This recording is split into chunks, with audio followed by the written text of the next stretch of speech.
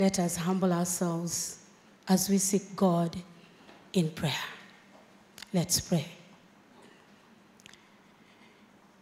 Dear Heavenly Father, mighty King of the universe, Lord of all, we thank you for who you. We thank you for being present with us for these last three days. O King of glory, we thank you for using Elaine and Willie in a very special way. We commit them one more time into your hands. Touch their brain cells. Let them be your mouthpiece.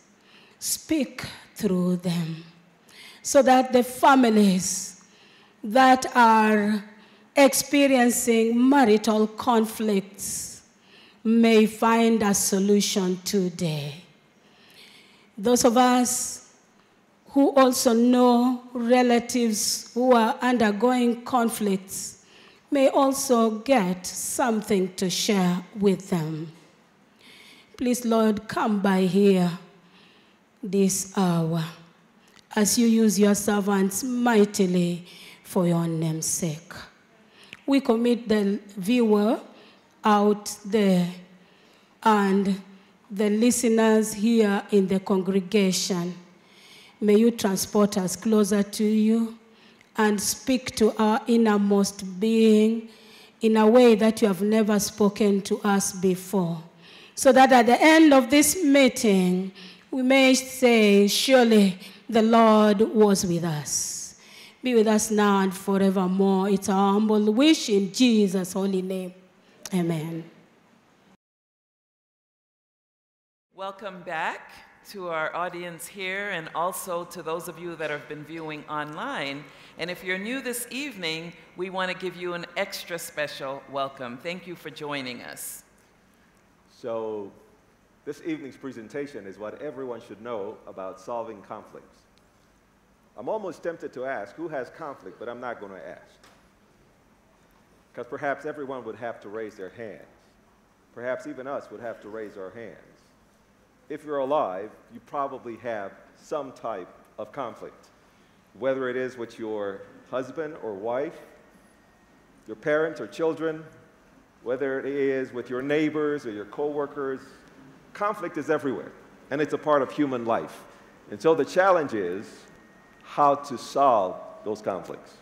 In fact, someone once said that conflict is to our relationships what manure is to a garden.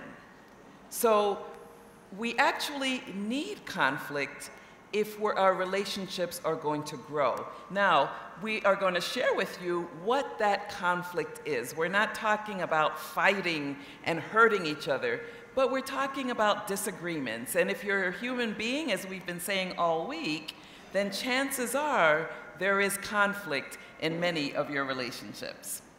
Tomorrow's topic is what everyone should know about sexuality. And of course, you want to know about that because there are all kinds of myths about sexuality. Everywhere we go, people think they know about sex, and invariably they know very little. You know, they are doing things, but they're not sure. And God's word is very clear. And so we're going to be talking to you from the word of God, and we want you to come. We want you to come, and we want you to bring your friends and we're going to present that topic and talk about this important matter. All right, so as we begin this topic, we want to talk about what is this conflict? What is conflict? Conflict is when we disagree. And we've been speaking all week about disagreements and various tensions that we experience in our relationships. The reason why we say solve your solvable problems is because many times in our relationships, we are trying to solve problems that are not solvable. Now, I know some of you good Christians are saying, but Sister Oliver, Sister Elaine, with God, all things are possible. And that is true. But there are some problems that are not really problems. And so, what we want to focus on is what are our real problems in relationships and how do we solve them? You know, Elaine, before you go into the uh, text of Scripture, we're talking about solving conflict. That's a huge, uh, it's a tall order. It's a very difficult issue. I think we better pray as we begin this evening. Absolutely. Let's pray. Dear God, thank you for bringing us here this evening. Thank you for once again bestowing upon us your blessings, your mercy, your grace, your goodness. And thank you for your promise to be with us. We invite you into this place and into our hearts. In Jesus' name, amen. Amen. Because we definitely do need prayer, right? If we're going to solve our solvable problems, if we're going to resolve conflict in our relationship. So it says in Romans 12 18, if possible, so far as it depends on you, live peaceably with all. Live peaceably with all. And so we're talking about taking the responsibility to live at peace with one another. You know, someone once told us a story about a conflict that they had in their relationship. It was a husband and wife, and they had been arguing for many, many, many years about a situation. Here's what the situation was the husband used to help with the laundry. Now, I know some of you are saying, well, that's the first problem. He shouldn't have been helping with the laundry. But this kind husband was helping with the laundry. And the wife was upset because she told him if he were going to help with the laundry, he needed to put the laundry detergent in the washing machine first. But he would put the, laun- the laundry detergent in last. And she said to him, You've been doing this for the last 10 years. And that just irritates me. And it's a problem. And the text says, if possible, so far as it depends on you, live peaceably with all. So, we're going to share with you how we can determine what is a real problem and what isn't. In this situation, how many of you think there was a real problem? You laugh, right? Because it really wasn't a problem. I say, what difference does it make whether you put the laundry detergent in first or last, as long as the clothes get clean? Right?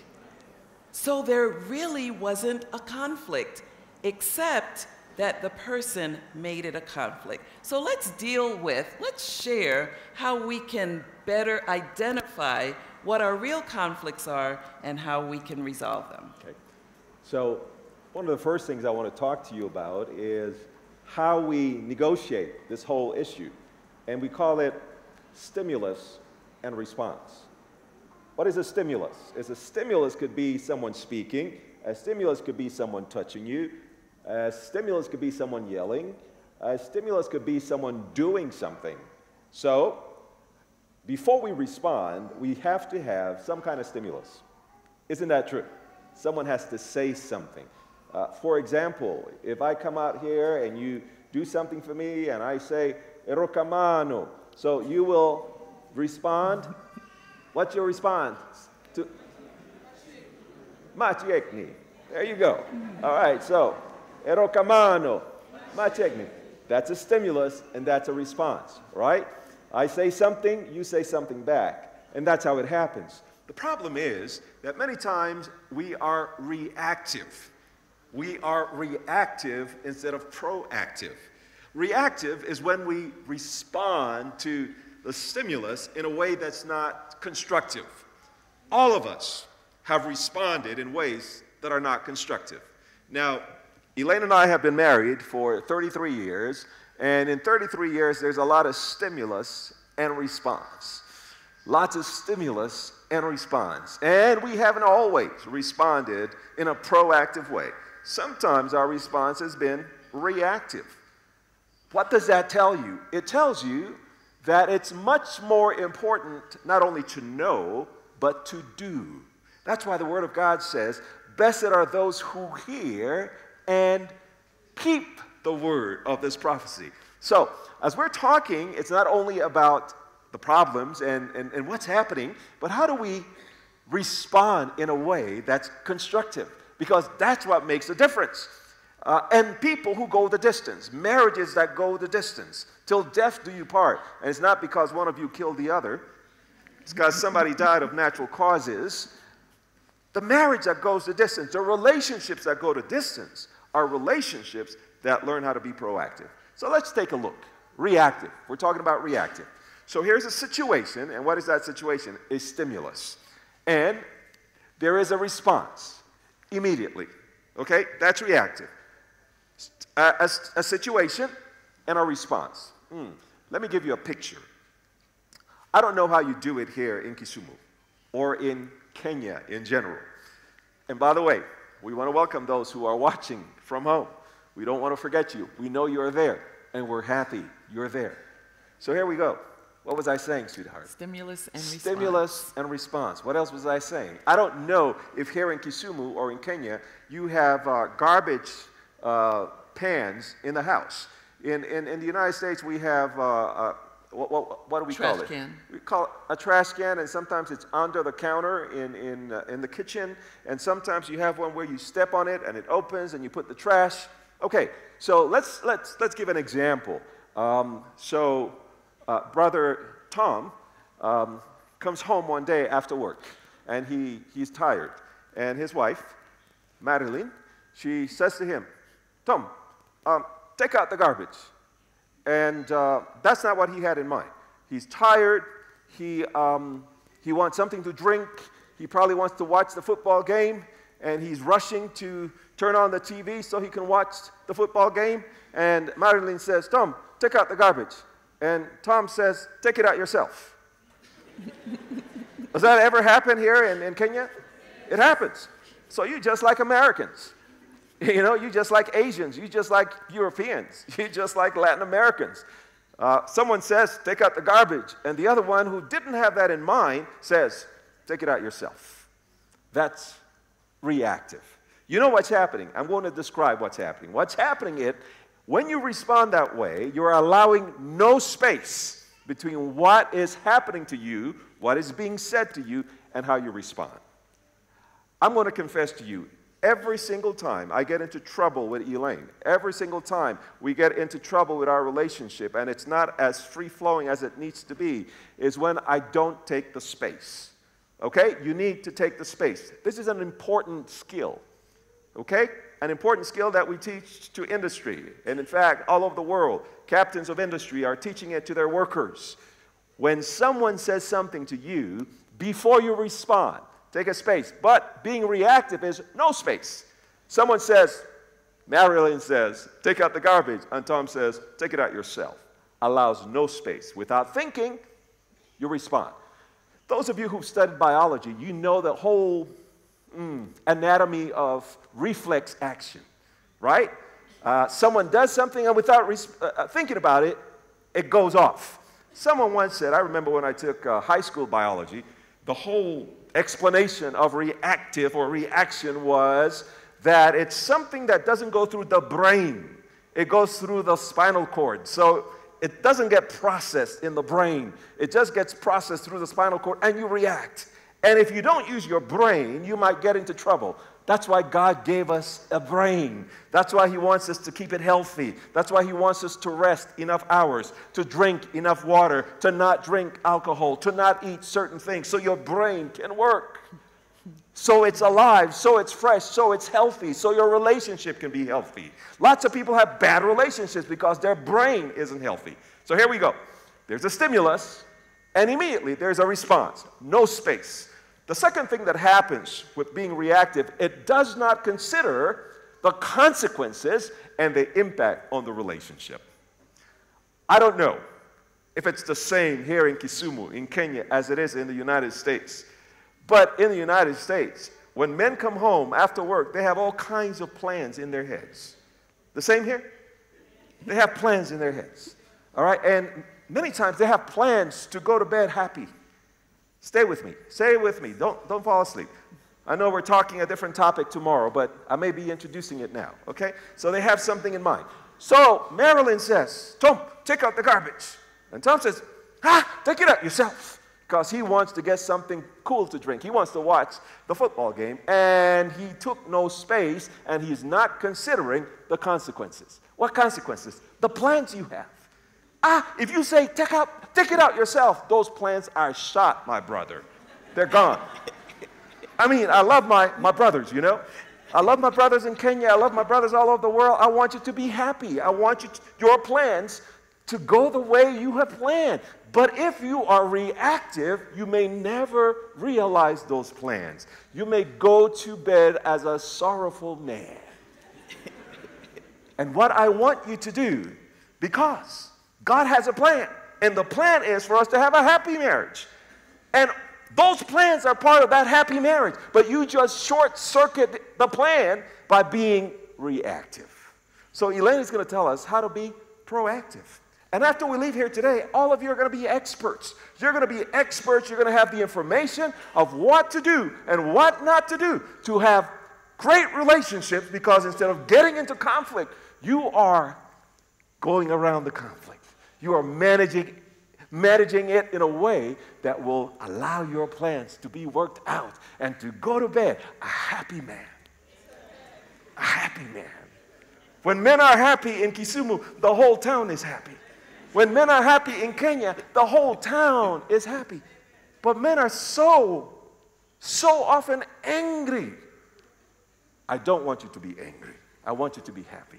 Listen to what Elaine is going to say. All right. We want men to be happy, but we want women to be happy too. Amen. And so we all need to learn how to be proactive, which is the opposite of reactive. Being proactive is when there's a stimulus, then there's a response, but before there's a response, we create a space between what we're feeling what just happened and our response. So someone says something to us that we don't like. Take out the garbage. Take out the garbage. And we didn't like it. And usually, there really is no conflict, but it becomes a conflict. It became a conflict because someone asked you to do something that was not a part of your plans, right? Mm. So, what we're going to do when we're proactive is we're going to take a space. Why do we want to take the space? Because we want to consider what our response is going to do to our relationship. Consequences. We want to consider the consequences of our actions. Now, remember, a few days ago, maybe even last night, we spoke about the fact that when we walk onto a lift, and it's a crowded lift, and you bump into someone or you step on their toe, and they say, ouch, what do you say?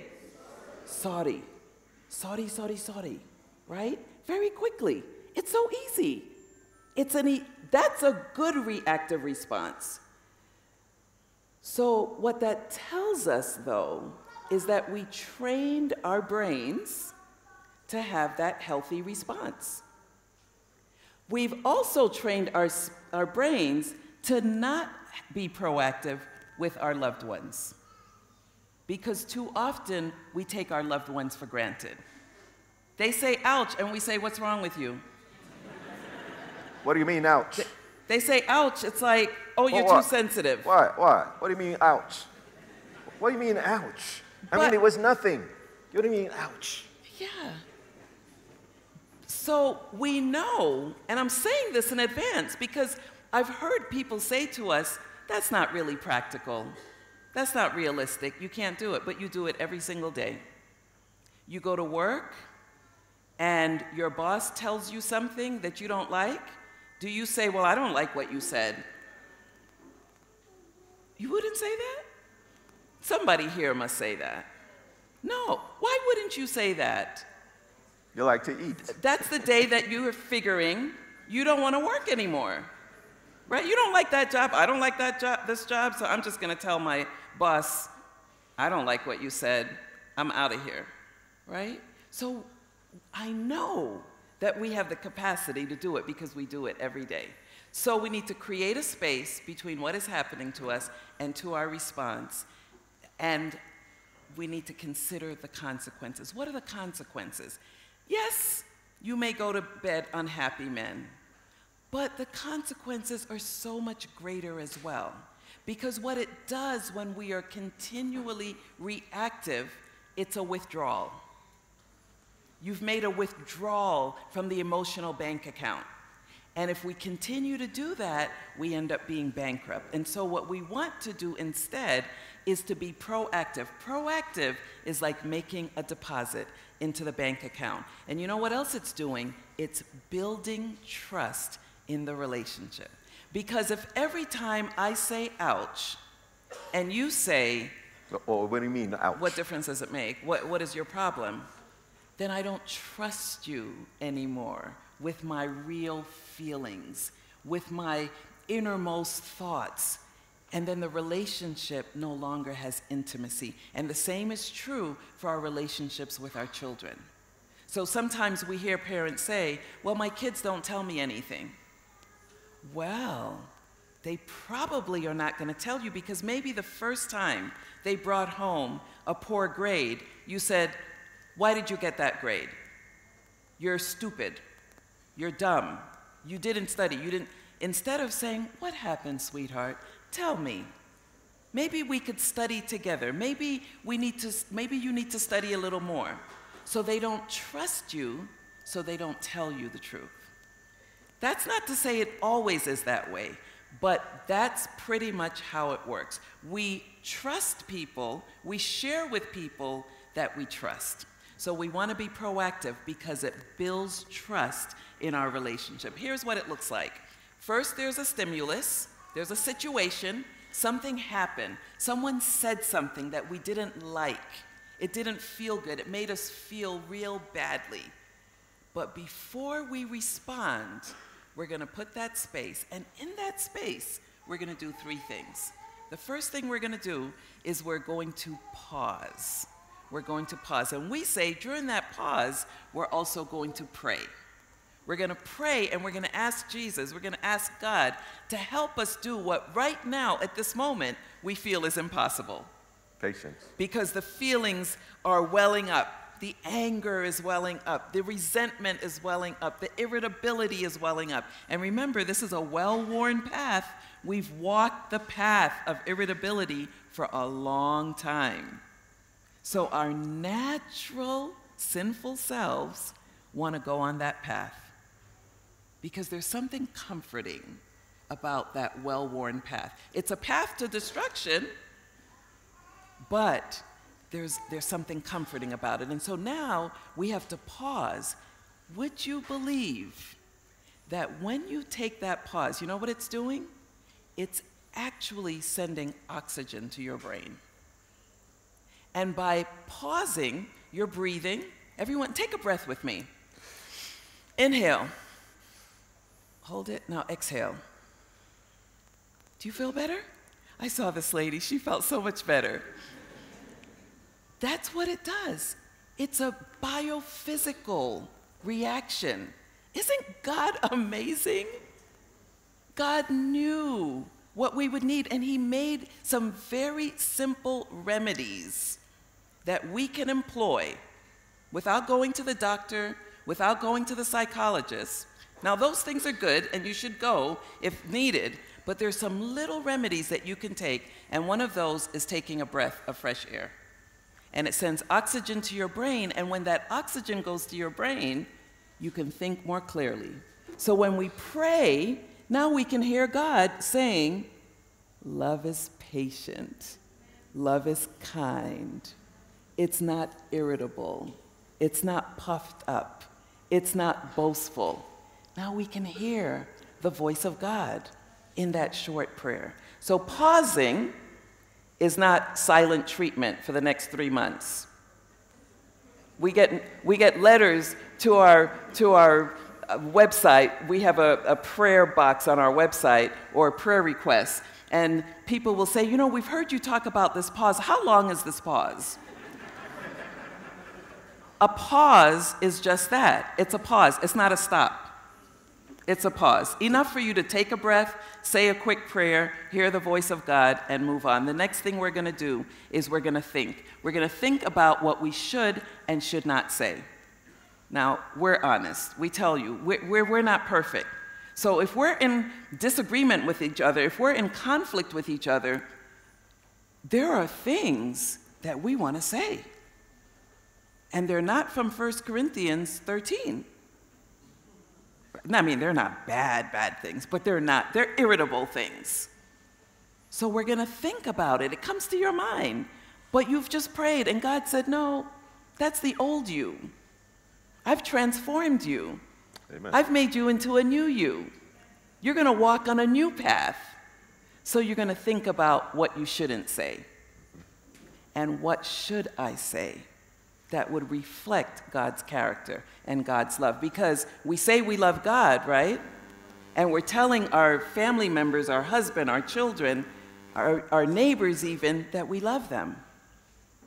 And we heard what love is. So now we're going to choose true love. So we're going to pause, we're going to think, and we're going to choose. And then we're going to respond. Now, somebody here is saying, Oh, my goodness, that takes such a long time. It's just so much easier to say, take it out yourself. You just take out that trash yourself. That just takes too much time. It actually doesn't take a lot of time. And the more we practice it, the better we will become at it. So I hope you're taking notes because we know that we're sharing a lot of information with you. And some of it is new, most of it is not. If you've read scripture, you've heard all of this before. I studied psychology, he studied sociology and psychology. And you know what's amazing, what we found? is that pretty much everything that we've learned in these science books are in the Word of God. God gave it to us right in His Word. We have it, and we read it and we recite it. But living it has been a little different. And so, what we want from you during this week, where we're talking about having healthy relationships, we want to live the Word of God. We want to be God's love. So we want to be proactive. You can't be a child of God unless you behave like God. You know, I just, when we were in the back there, uh, some of the young women who were helping us get ready, I, one of them, and she's here someplace, her name is Jessica. And I said, Oh, Jessica, we have a daughter who's Jessica. You know? And she, I said, let me show you Jessica's picture. So I showed her a family picture, and she says, ah, she looks just like her mother. I said, well, she looks a little bit like her father too, doesn't she? well, as long as she doesn't look like the mailman. No. Just... Yeah, this is true. anyway, here's the point. Now, Jessica looks like her mother, a little bit like me, you know, but she looks like us. She's an Oliver. And you see her, and you say, ah, I know who she belongs to. You know, she belongs to these two. Well, that's how it is with God. If you call yourself a Christian, someone needs to identify you that you're behaving like God. If you're not behaving like God, you must not be God's child. Because there are only two powers in the universe power of God, the power of Satan. And there are only two likenesses. You're either like God or you're like Satan. Are you with me? Those are the only two choices. There's not a third one. So, we do this to be like God, to represent God. People think, oh, I'm going to get married. I got eight cows. Let me look for the girl. Oh, maybe 12 cows. Oh, well, it's a lot more than just getting married. It's about giving honor and glory to God. It's about representing God. Because every marriage is to represent God. Your father. Your father. And in Africa, we're big on ancestry. We're big on who our father is. If you're big on who your father is, you must know spiritually that if God is your father, then you have to behave like him. That's why. Pause. Ah, don't just be reactive. Pause, think, and choose. The whole thing is about choices. And the choices we make every day will determine how our relationships will go. the choices we make with our children, the choices we make with our parents, the choices we make with our husband, with our wife, the choices we make with our friends, with the people we talk with. It will say, You belong to God, or we don't know who your father is. So, one of the things we want to show you is to solve conflict, we have to think win win. Win win. Some people think, Oh, but if you win, I lose. See? People think it's a zero sum game. If somebody is winning, somebody is losing. I don't know if you have this uh, saying here in Kenya, but in South Africa, they have a saying. And someone may see you trying to do something and they will ask, Are you winning? If there are any South Africans on watching, they know what I'm talking about. Are you winning? Well, we think sometimes that if we win, the other person loses. But no, to solve conflict, we need to think win win. Remember what we said the other day. You need to think about the good of the other person. If you're in a relationship, you can't just think about yourself. That's the other guy. That's not God. That's the other guy. God thinks about us. God is love. To love well. We got to make deposits in the emotional bank account. To do so, we have to think win win. Here's what it looks like you need to say to yourself, when you're married, when you have children, when you have parents, when you're in a relationship with anybody, even in the church board, you can think win win. Sometimes the church board is the most difficult place where there are all kinds of fights that are happening. And these are supposed to be the people of God. Think win win. If you take this to church board to the next one, you'll have a smooth church board. Because you understand it's about win win. We're all on the same team. What does the team want to what? To preach the gospel of Jesus Christ. To tell people the good news of salvation so that they can accept Christ and live good lives. So that they can live longer and healthier and happier because that's what God is about. Happier and healthier. So, the first thing you need to say to yourself when you have a conflict is think, you and I can work together. And don't be afraid to say it out loud. You know, sweetie, you, you just asked me to, uh, to take out the garbage, and that's not what I want to do, but you and I can work together. Why? You and I can work together because you and I are a team. Do you have sports here in Kisumu? Do you have a football team? Does it win? Does it? Sometimes, right? It wins a lot, all the time. Guess what? How many people are playing? 11? 11. When I was a little boy, my parents were missionaries in, in Central America and lots of football over there. 11 people, I remember that from primary school. 11. I used to be the goalie. I was pretty good, if I may say so myself, you know, but as you get older, you don't remember. the team, the 11 guys, they're working together. They are, they have a goal in mind. What's the goal? To shoot a goal in the opposite team's goal. You don't turn around and shoot a goal on your own goal. That's someone who's crazy. You cut them from the team. Ah, you're not belonging to this team. You don't know what it means to be a team. If you're married, if you're in a family, you're on the same team. You need to rehearse that. You're on the same team. And if you're on the same team, you want to win together. For that, you have to think win win. Let me show you. Most times, when we have conflict in marriage, or with our children, or with anyone, the conflict is right here. And it's right between us. It's like a basketball. No, no, push. There you go. You see the basketball? You see it? You see it in the middle? Yeah. Okay, so there it is. And that's our problem. And our problem is right there. She says, Take out the garbage. And I say, Ah, take it out yourself. That's a problem. And it's right between us.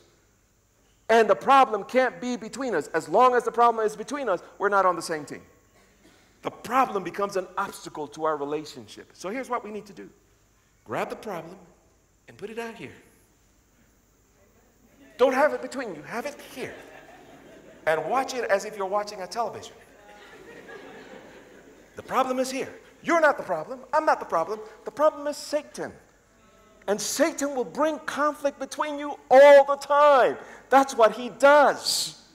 That's what he's about conflict. So bring it out here and look at it objectively and say, ah, we're on the same team. Ah, you and I can work together. And then there's a third part to that, and that is, what would a win look like for you? And ask the question, What would a win look like for you? Because we all have different ideas of what a win looks like. Okay, so instead of saying Tom and Marilyn, let's say Willie and Elaine. Okay, so I come home and, I, and Elaine says to me, Willie, take out the garbage. For those of you who are wondering, where are you taking it out to?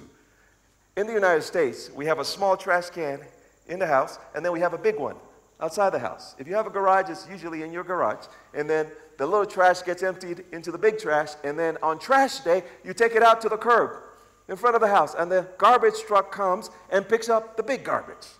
You see the, the imagery now? Okay, so I come home, and I'm, I'm tired, and I'm probably not trying to watch football, but I'm trying to watch basketball, and we're right now in the United States in the middle of the playoffs.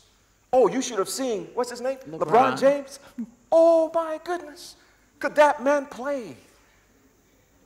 And you know he was on the team because he was helping his teammates. And to help your teammates don't mean that you throw the ball to the basket all the time. You're passing the ball. You're playing together because the more you play together, the more you win.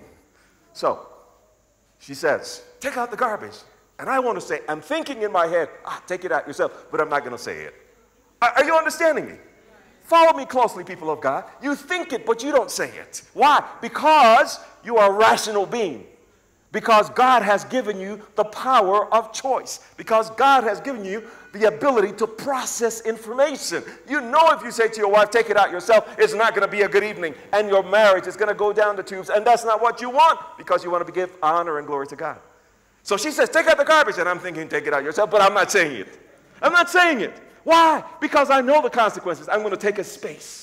I'm going to take a space, and in that space, I'm going to pause. I'm going to pray, God, help me to deal with this woman who always asks me to do crazy things when I come home. That's a silent prayer. Are you with me? It's a silent prayer. You can think it, my brothers, but don't say it. It's okay to think it. So you think it, ah, help me to put up with this crazy woman. Afterwards, your prayer gets changed as your heart gets changed. You pray nicer prayers. Are you with me? Okay, but when you're not there yet, you say, ah, help me, help me to, to deal with this. And so I'm going to ask, I'm going to say to her something like, ah, you'd like me to take out the garbage. And you're going to say, Yes, sweetheart, I would like for you to take out the garbage. I'm going to say, ah, I want to take out the garbage too, but can I take it out later after I get something to drink, after I relax a little bit? Is it okay to take it out later? No, but I want it to be taken out now. And, and you're still praying. And the prayer is, I'm just trying to keep it real. and you're, you're, you're praying. I'm not converted yet. Yes, and you're praying. What's your prayer? Ah, God, I forgot. I should have looked at her mother. That's how she behaved as well. See, that's why she's behaving that way. And I didn't pay attention. But oh Lord, help me. Help me to make lemonade out of this lime. Are you with me? Because that's the truth. Sometimes we marry a lime. And instead of just making up our face and say, ah, she's beta, you put a little sugar and you put a little water and you have lemonade. What is that? You and I can work together. You and I are on the same team. What does a win look like for you? Okay, once you know that you want a win win, I can ask, what does a win look like for you, darling? Once I use that language and you've been here together, you know what you're trying to go for a win win. So I would ask her like something like, what does a win look like for you? So, you know, I was frying some fish for you Fish, I don't eat fish. to go with your ugali, Oh, okay. and you do today. Oh, I, eat fish Um, today. you eat fish today. I eat fish because today. we're in Kisumu and we're close to the lake. Okay. Yeah. So the Lake the- fish. Lake fish. Lake fish. The the the walking vegetables. The swimming The swimming vegetables, vegetables. yes. Right. Okay. So I was frying the fish, Yes. and the the trash smells. Ah.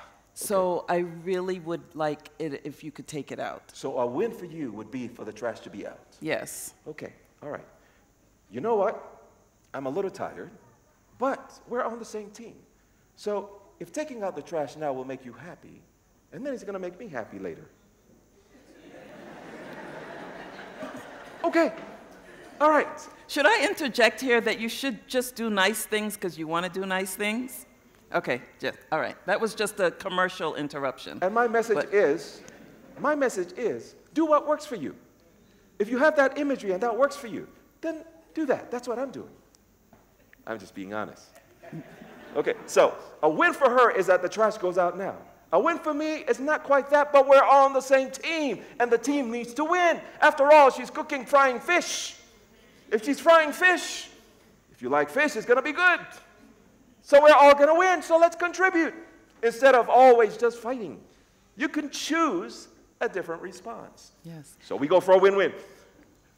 I'm going to win because she's frying fish, and she's going to win because she wants the smelly garbage out. So we both win. The problem is we are knuckleheads. We want everything the way we want it. And life doesn't work that way. Then live by yourself. Are you with me? Live by yourself. Don't be married. When you're married, you have to consider the other person. That's what the Bible says. You can't live in relationship and then just want to do it your way. Oh, I'm the man in this house. Well, be a man all by yourself.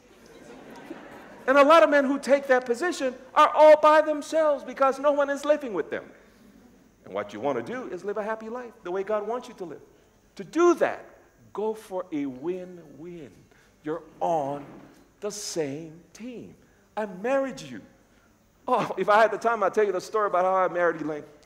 But I don't have the time. I'm only going to say this to you. She was in her last year of university. I was a young pastor in New York City, and she was 200 miles away. Man, it was the fastest 200 miles I've ever driven in my life. oh, I couldn't wait to see this young woman. Ah, so beautiful. Ah, beautiful voice. Even today, when I hear her speak, oh, my knees tremble. That's so sweet. You see? Every that's, day. That's a deposit. He's thinking about the positive consequences. Every day I wake up, I thank God for my wife. I thank Him. Wow. I get to live with this woman, this wonderful, beautiful, wonderful, cheerful woman all my life. I tell her I'm going to die before, you know, her people, they live long. Her grandmother, 100 when she died. Her grandmother's sister, 103. The other one, 106. My people die young, 70. so I tell her, you're going to be a widow, you know? And that's fine because I don't want to live without Elaine. And when I get to heaven, I, I don't want to mess with your theology. I'm going to live with Elaine, but that's a different story. Come, come ask me about that later on. I'll tell you about it. All right. I, I want to say something about proactive, and it goes back to the original text from Romans where it said, If it is at all possible with me, live at peace with all people. So being proactive is not about what the other person is doing. That's why I resisted when he said, Well, I can't take it out now. And he was very nice. And so people will say, Yeah, but then she wasn't nice back. You can't control anybody else. The only person you can control is yourself. So you've decided you, you're going to be proactive, but your spouse, even though she sat next to you or he sat next to you during the meeting, decided not to be proactive. You can still be proactive because being proactive has everything to do with the choices that I make. It's a choice that I make to be proactive. So when we say we're going to pause, think, and choose, it's not for me to say, oh, well, he's not being proactive, so then I don't have to be.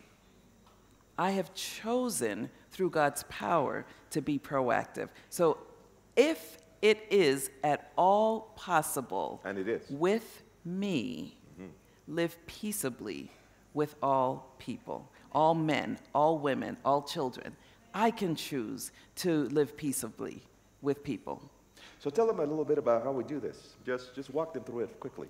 So what we've shared so far is really uh, some daily strategies, daily skills, daily principles that if you incorporate those into your daily way of living, you could actually reduce the number of conflicts that you have. Because remember, we said at the beginning, we want to solve our solvable problems. And many of us are arguing about things like taking out the trash.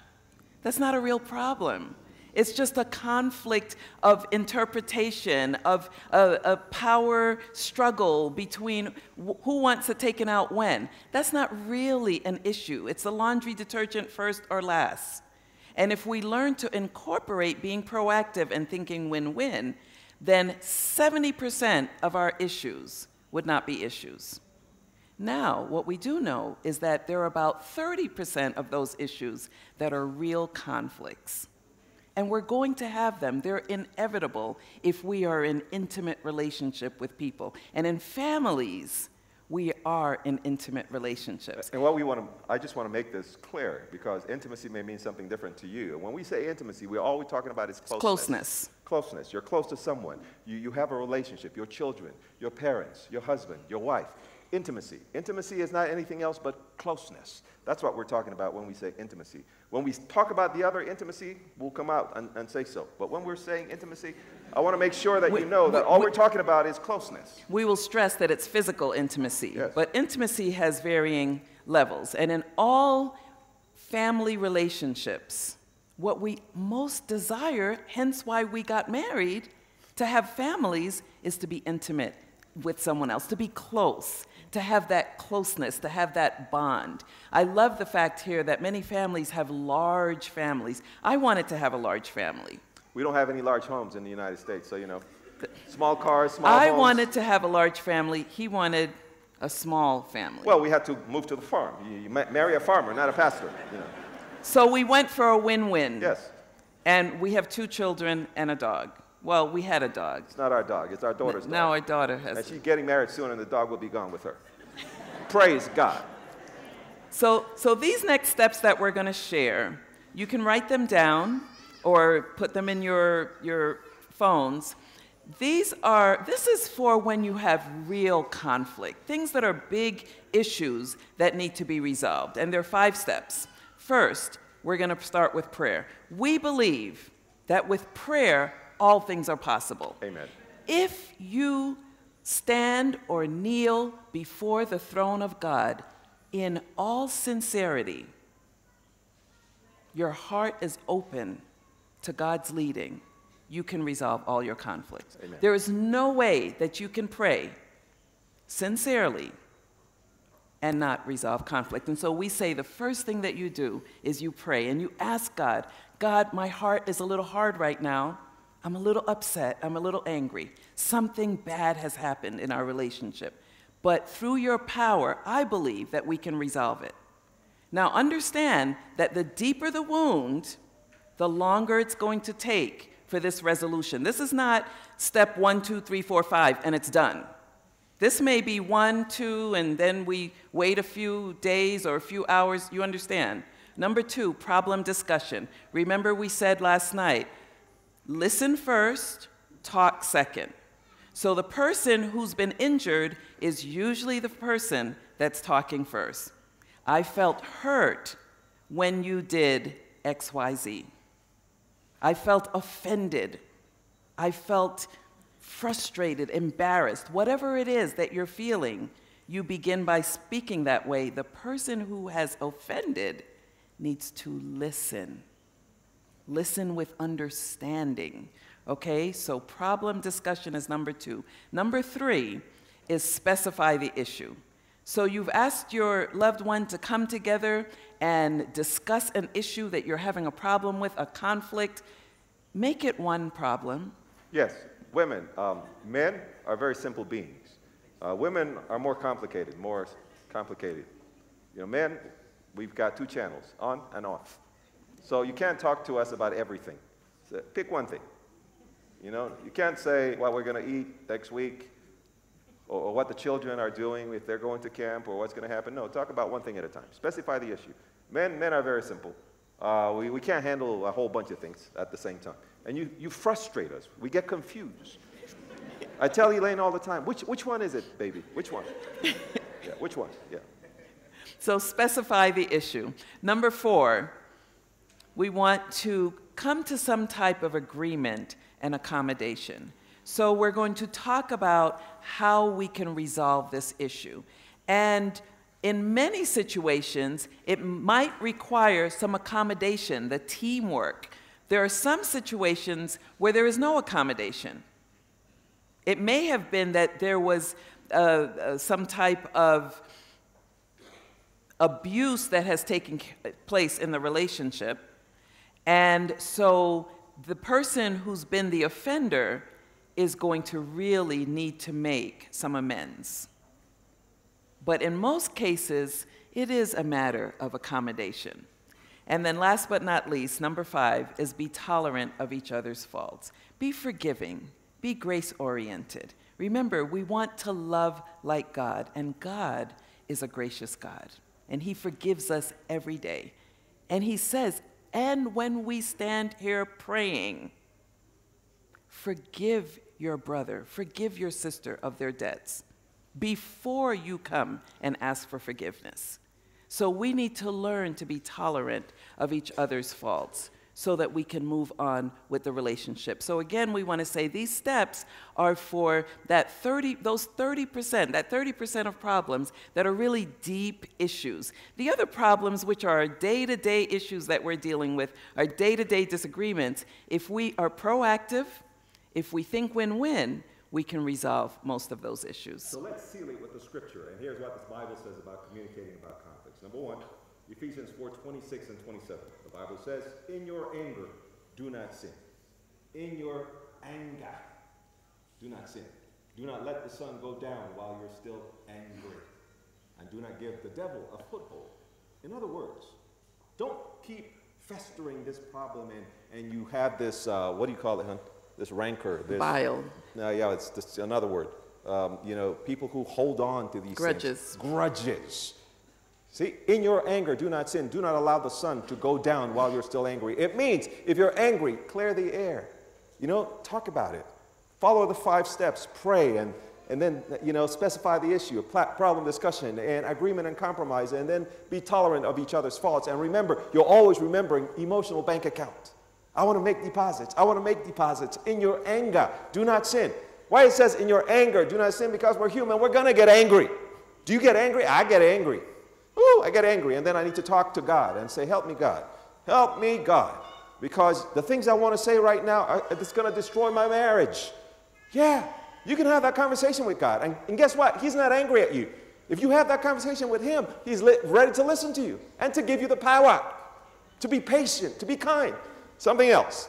The next thing, James 1 19. We love this text. It's a lot of psychology into one Bible text.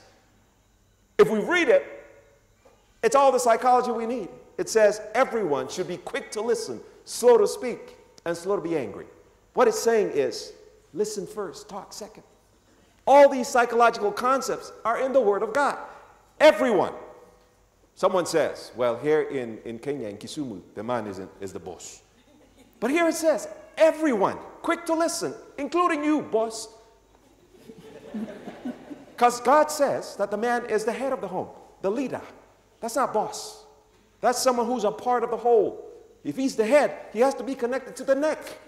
I think that if the man is the head, and the Bible says so, and I agree, the woman must be the neck. Have you ever seen a head move without the neck? If you have no neck, you cannot move, my brother. Remember that. So, everyone, quick to listen, including the men, including the parents to the children, quick to everyone. It didn't say children should listen, it says everyone should be quick to listen slow to speak, and slow to be angry. Communicating about conflicts. Pause, think, choose. Quick to listen. So Elaine is saying, take out the garbage. I don't want to take it out. Quick to listen. Slow to speak. I want to say, take it out yourself. Slow to speak. See, slow to speak. Not going to do it. And what? Slow to become angry. We're on the same team. So let's finish this way.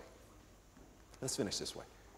Because this conflict didn't start with us. This conflict started in heaven when an angel called Lucifer wanted to fight God. He didn't want to be on the same team with God. The Bible says in Isaiah 59 2, but your iniquities have separated you from God, and your sins have hidden his face from you, so that he will not hear. So if you're at enmity with God, you have to fix that. That's why we're here. We're talking about relationships with one another, we're talking about relationships with God as well. Also in Romans 5 8, it says, While we were yet sinners, Christ died for us. We are at enmity with God, but He loves us. He wants to save us. And then in John 14 3, He says, And if I go and prepare a place for you, I will come again and receive you to myself, so that where I am, you might be also. This God, who we started a conflict with because we do what Satan says, loves us. and wants to be at peace with us because he loves us. And God will destroy sin and conflict. We read it last night in 1 Thessalonians 4:16. We're not going to read it all. He says, "For the Lord himself will descend from heaven with a shout, with the voice of the archangel, and with the trumpet of God, and the dead in Christ will rise first." This is he coming back to take us because he loves us and he wants to be at peace with us. 1 Thessalonians 4:17 says, "Then we who are alive and remain shall be caught up together with them in the clouds." Who are them? Those who love God, those who are paying attention to God, those who have a relationship with God, those who obey God. A little bit more. A little bit more. And we're done. Revelation 21 1. Bible says, Now I saw a new heaven and a new earth, for the first heaven and the first earth are, have passed away. Also, there was no more sea. Ah, if I had the time, I could tell you all about these prophecies. But basically, saying this world in which we live is going to be destroyed. But if we are on God's team, we're going to be saved. We're going to be fine. 21 2, Revelation 21 2. Then I, John, saw the holy city, New Jerusalem, coming down out of heaven from God, prepared as a bride, adorned for her husband. If we are in a relationship with God and we cut this conflict with God, we inherit heaven. Amen. Amen. Do you believe the word of God? Here we are, almost done. My role in solving conflict with God. What is that? Romans 12, 2. And do not be conformed to this world, but be transformed by the renewing of your mind, that you may prove what is the good and acceptable and perfect will of God. It says, if we want to be in a love relationship with God, if we want to be in a place where we're not in conflict with our spouse, we need God in our lives. We can't do that without God. What comes naturally as a human being is to be in conflict, is to fight, is to have words with my wife. But to live a peaceful life, I need God in my life. Gentlemen, lady, watching from home, you need God in your life. You want to have good marriage? You want to have a good relationship with your children? You need God in your life. The Bible says, ah, 1 John 1 9, you know it well. If we confess our sins, He, God, is faithful and just, and He will forgive our sins and cleanse us from all unrighteousness. Right now, I ask the question who believes the Word of God? Who believes? You believe? Do you believe the Word of God? If you believe the Word of God, come to Him. Come to Him, accept Him. Not accepting God means accepting Satan, and there are only two powers. And God is more powerful. Amen? Amen? And He has already won. And if you want to win, remember, win win, you've got to be on the side of God. If your marriage is going to win, you have to be on the side of God. If your family is going to win, you have to be on the side of God. That's why family relationships go hand in hand with accepting Christ into our lives. Someone today wants to say yes to Jesus. Someone watching on television, you want to say yes to Jesus. Just raise your hand right where you are, and we'll pray for you. Someone here, just yes to Jesus. Some of you, baptized, but that's not what I'm asking. Because sometimes we're baptized, but we don't have Jesus. And tonight you're saying, Willie Oliver, pray for me. I want Jesus. I want to go home with him so that when I'm talking to my wife, Jesus is the one who speaks in me. Jesus is the one who gives me patience. Jesus is the one who gives me kindness. Jesus is the one who gives me the kind of family that will bring happiness and joy to my heart and will bless the community, will bless the church, will bless wherever we are because we belong to Jesus. There is no question why we're here. We're here to talk about relationships with one another and with God. Because if we don't have God, we don't have relationships with one another. We can't do it. So even now, one last one. 2 Corinthians 5:17, therefore if anyone is in Christ, you know it, he is a new creation. Old things have passed away. Behold, all things are become new. You want a better relationship with your wife? Become new. Be in Christ because the power of Christ will allow you to do what you need to do. The truth is, tell them about what our teaching is today. So, we're talking about solving conflict. And so, to learn to solve our conflicts and be among the saved, we must choose to be on Jesus' side. I don't know about you, but I want to be on Jesus' side because he's already won the battle. And we have nothing to fear no demons, no ancestors, no other enemies or evil spirits. Because if we're on Jesus' side, we've already won. We're on his team. So if we want to solve our conflict, I want to be on Jesus' side. How about you? Amen. And we know what the promise of success is. We tell you that every night. I can do all things through Christ who strengthens me. Today, we pray. We pray for you, for the people who raise their hands, for the people watching by television. Just invite Christ into your life. Invite him into your life because when he's in your life, you've got the power of the Spirit of God. We're praying now. Let's pray, Elaine. Lord, we ask you to come into our hearts right now, each and every one of us, even those of us who have accepted you. We accept you anew tonight in our lives. Lord, we ask that you will transform us into your likeness so that when others see us, especially our spouse, especially our children, our neighbors, our friends, they will no longer see us, but they will see you. Amen. And Lord, I pray in a special way for those who raise their hands, saying yes to Jesus.